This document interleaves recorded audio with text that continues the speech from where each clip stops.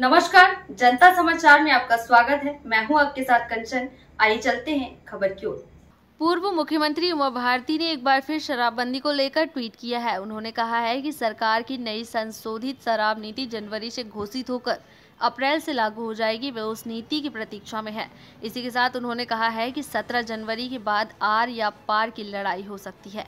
आगे उन्होंने कहा कि अभी तक के भ्रमण से यह बात साफ़ हो गई है कि पूरे प्रदेश की जनता को शराब के खिलाफ करने के लिए किसी आंदोलन या अभियान की ज़रूरत नहीं है।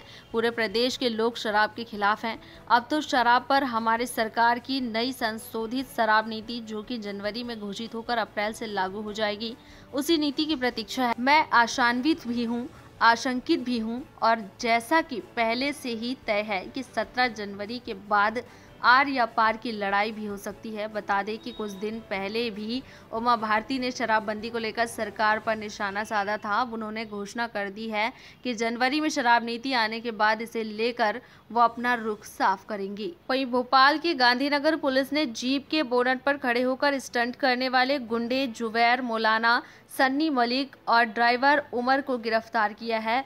पुलिस ने वह जीप भी जब्त कर ली है, जिस पर स्टंट किया गया था। गांधीनगर थाना प्रभारी अरुण शर्मा ने बताया कि सोमवार, मंगलवार दरमियानी रात पता चला कि तीनों बदमाश नागपुर भागने की फिराक में हैं। वह जीप से गांधीनगर इलाके की तरफ़ आ रहे हैं। पुलिस ने घेराबंदी कर आरोपियों को गिरफ़्तार कर लिया।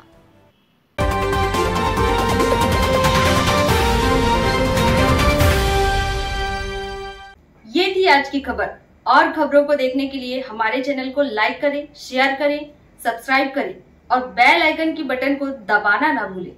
आप देख रहे हैं जनता के लिए जनता की आवाज़, जनता समाचार। अन्य खबरों के लिए हमारा चैनल सब्सक्राइब करें।